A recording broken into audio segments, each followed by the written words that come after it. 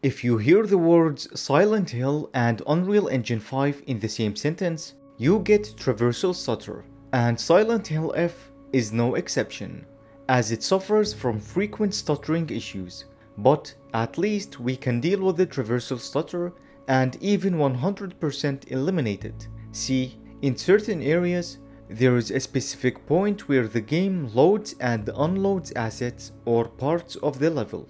When that happens, the game instantly drops frames for a brief moment, and after investigating this issue, I found that it is related to GPU usage. The moment the switch happens, the game demands a decent amount of GPU power. I measured it to be around 30% extra usage in the worst case scenario on the RTX 3060. I found that it required 9.5 milliseconds of GPU time, and that is a lot, meaning if you have 60 FPS, the stutter will drop you to 38 FPS. What you can do to prevent it is have some GPU headroom, meaning you want the GPU usage to stay below 100% so that when the switch happens, you are ready for it and have the spare GPU power for the switch to use, instead of using the GPU power your frame rate is relying on which leads to dropped frames and stutters. One foolproof way to do this is to cap your frame rate below what you can achieve on average and monitor your GPU usage. If it is consistently below 100%, that means that you have some GPU usage to spare and will greatly reduce or even eliminate these stutters. Another thing I noticed is that the TSR quality levels don't really work they render the game at the same or nearly the same internal resolution because the frame rate barely changes. Instead, use the screen percentage setting. As for CPU performance, I am disappointed. Firstly, the game doesn't properly utilize the CPU as it only uses around half of it when bottlenecked. So there is a lot of potential CPU power just sitting there. And secondly, the frame rate when CPU bottlenecked is very low for a game like this, averaging around 60 FPS and easily dipping below it on the R5 3600X, meaning older or lower end CPUs can't really aim for higher than 60 FPS on average. For an extremely linear game like this, this is unacceptable. We have just recently seen open world games with lots of things going on that can achieve much higher frame rates on the CPU than this, such as Dying Light the Beast for example. I have noticed a pattern. Unreal Engine 5 games tend to be very heavy on the CPU, so the base engine is partly to blame here, alongside the devs of course. The game offers a basic number of settings for what is considered acceptable nowadays. Let's start with the indirect lighting setting, which when turned on, vastly improves the look of the game. Using the epic setting improves its accuracy and quality but not to the degree where it is worth its performance hit. And this setting also introduces some visual issues. When panning the camera quickly, you can see obvious artifacting or ghosting of some elements on the character's face. This is unfortunate, but it is what it is. As the game is designed with this setting as a base, I recommend using the Lumen High option for the best balance. The reflections setting affects the overall image quality. The difference between SSR and Lumen High is very apparent, and Lumen Epic only slightly increases the resolution of the reflections, but it is very hard to notice, even when side by side.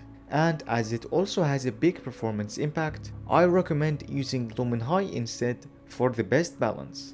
The shadow quality on low disables shadows. Medium enables some nice looking soft shadows, while high and very high gradually increase its quality and performance impact. This setting also affects volumetrics quality and the render distance of some lights. I recommend using the medium option for the best performance and if you have some performance to spare, feel free to use high.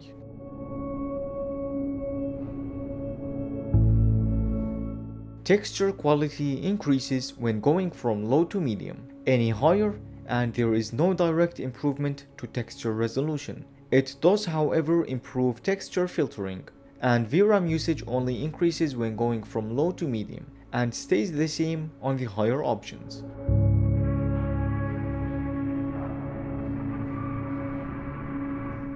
I only discovered one thing the shader quality setting controls, which is the amount of foliage it can animate. But I wasn't able to find a scene where the very high option made a noticeable difference over high. It can also decrease performance even further, so I recommend using high for the best balance. The visual effects quality setting enables distant fog when going from low to medium, I also heard that on very high it is supposed to enable rolling fog near the player, but I tested many scenes and I wasn't able to tell if that was the case. It also enables subsurface scattering on character skins, but the medium and high options degrade hair quality on parts where they overlap the face, so that only leaves very high as the viable option, and thankfully, it only has a small impact to FPS so use very high as I think it is worth it. The only difference the post-processing setting makes is that it enables vignetting on medium, which is the dark halo around the corners of the screen. I tested many scenes and didn't find any other differences. The view distance setting only seems to make a noticeable difference when going from low to medium. The higher options seem to look and perform the same as medium. Maybe these options are broken.